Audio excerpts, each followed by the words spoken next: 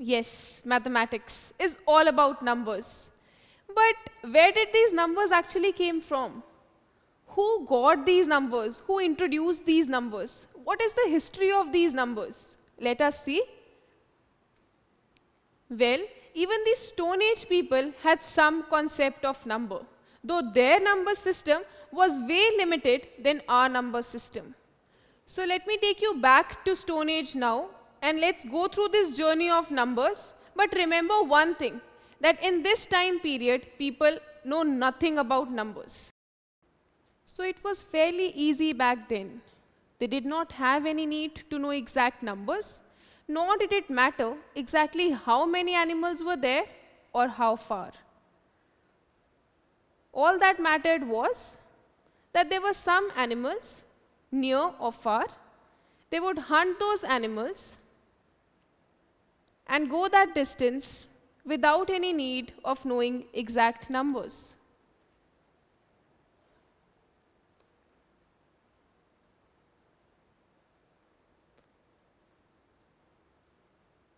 Later, they realized that they could not communicate or tell the other person exactly how many animals were there. And so they realized that they would need numbers.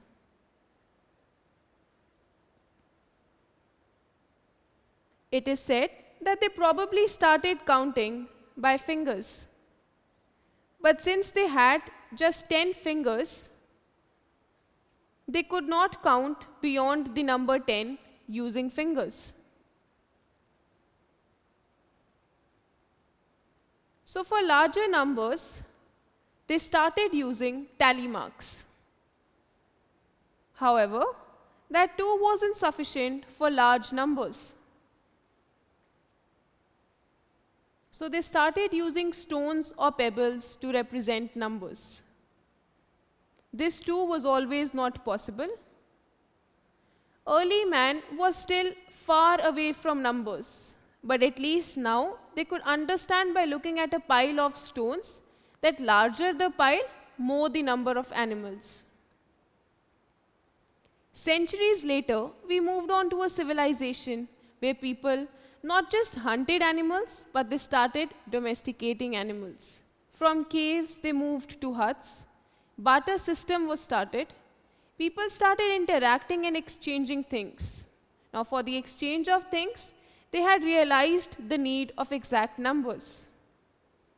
So they invented these 30 numbers. These are the first 30 numbers that they used.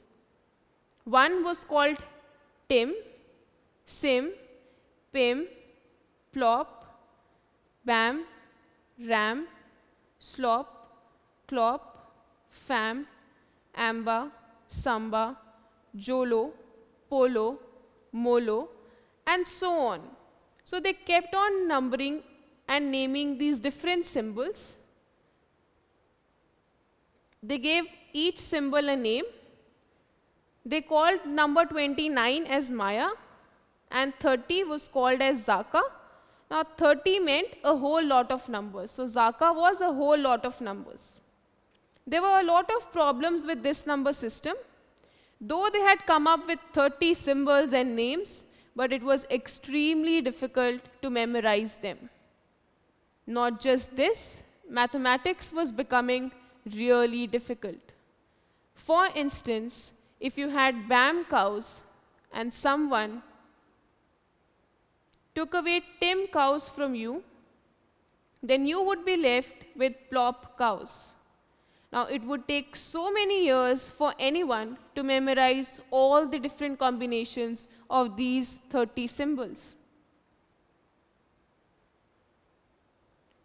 Centuries later, Egyptians came. Egyptians had varied interests. They were extremely fascinated with numbers. They constructed tall pyramids and were also interested in astronomy. For all this, they had invented large numbers. Let us take a look at the Egyptian number system now. They used objects from everyday life as symbols. A rod stood for one.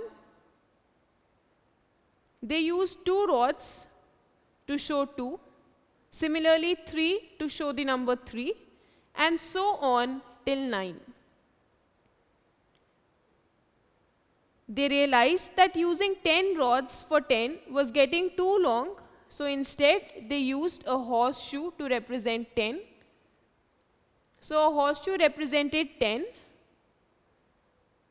They would use two such horseshoe to represent 20 and so on. So 9 horseshoe would represent the number 90. Again, they realized that using 10 horseshoe to represent the number 100 would be too long. So instead, for 100, they used the symbol of a coiled rope. Egyptians made a symbol for every power of 10. They used a lotus for 1000. For 10,000, they used a pointing finger. For a lakh, they used a tadpole. And an astonished man was used to represent 10 lakhs. Egyptian number system was much better and efficient than previous number systems. However, there were problems with this number system too. They did not have a word and symbol for every possible quantity. Then they came up with the idea of combining symbols. Symbol for each was repeated as many times as possible. So if they want to write the number 9999, they used 9 thousands, that is 9 lotus to represent 9000, 9 coiled ropes to represent 9 hundreds, 9 horseshoe to represent 9 tens, and 9 rods to represent 9 ones. Now you can see that the problem here was that these numbers took a whole lot of space and time. So from Stone Age, we moved to the primitive civilization and then the Egyptians. All these gave way to our modern number system that uses only 10 digits. It is assumed that they too must have counted on their fingers because only 10 different symbols were used, which they called as fingers or digits. It took a lot of toil and effort to arrive at these numbers, which almost everyone is familiar with these days. These modern number system came from medieval. Medieval came from Arabic. Arabic in term came from Hindu and the Hindu came from Brahmi. You would realize that Brahmi had only nine numbers. Zero was not introduced then. Zero came in much later when the Hindu script was written. So these are the 10 numbers which everyone is familiar with, which is our modern number system. So we've seen that this is a modern number system that uses 10 numbers or 10 digits. Well, using these 10 symbols, we can write any number in our modern number system. But now, since you know how we actually got these numbers, how much hard work has got into getting these 10 symbols, I hope you can appreciate the amount of hard work that has gone into these numbers. So don't take these numbers for granted. So these are the 10 numbers and now we have seen that our modern number system has evolved from a lot of civilizations. But in a way, we can say that it is not much different from what the Egyptian number system was. Let us see. Let's take this simple addition problem in our number system, which is 342 plus 420 plus 205, which gives me 967. Now, if I look at this same problem in Egyptian number system, it would look like this, which seems pretty complicated. But yet again, let me remind you, it is not much different from our number system. How? Let's see.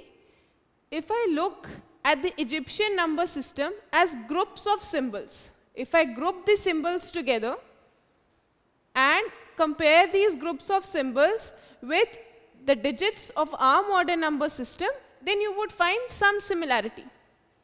300s, 300s, 4 tens, 4 tens, 2 ones, 2 ones, and so on you will find some similarity.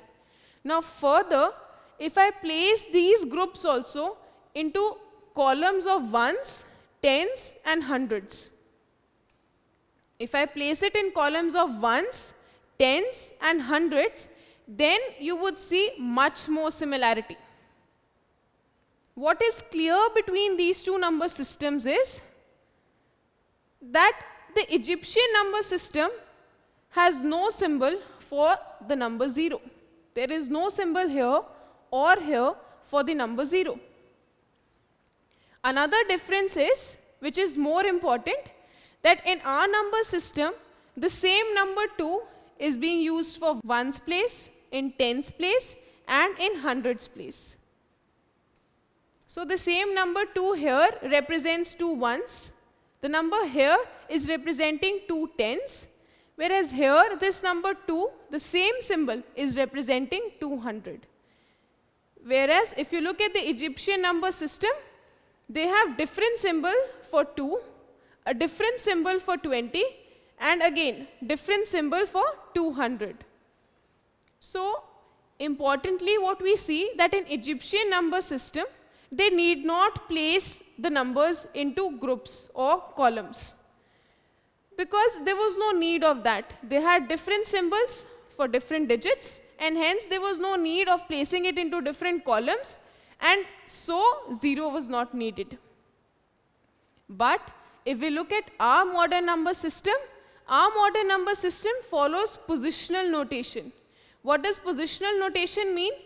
That same digit is used and same digit represents different quantities when placed in different positions. So this number 2 is representing two ones also, number 2 is representing 20 also and 200 also. And this is why the need of 0 was felt and 0 was used to represent a column that did not contain any digits. What would you call this 2 as? Is this 2 ones? Is this 2 tens? Or is it 200? So this same digit, when I put a 0 in front of it, it becomes 20. When I put two zeros, it becomes 200 and so on. So importance of 0 was felt and that's why 0 was included later. We'd seen how 0 was included much later. Why was 0 included much later? Because there was a need for 0 that was felt as a symbol for columns that had no digits. So that's how our modern number system follows the positional notation. So we've seen the 10 digits which we use in our modern number system. Now there's an interesting side to it which says that how do you actually, how did numbers actually came about? Why was this symbol used for 1 and not any other symbol? An interesting study says that number 1 actually came from the number of angles. So you can find only one angle in this number 1 and so this number 1 came. Similarly for 2 we have this symbol because it makes two angles. 3 because of three angles. Similarly 4 for the four angles. 5 makes 5 angles. Again, 6 would make 6.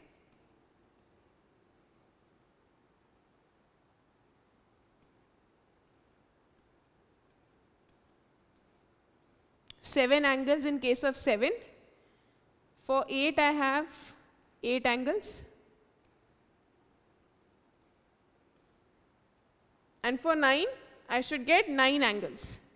1, 2, 3, 4, 5, 6, 7, 8 and 9.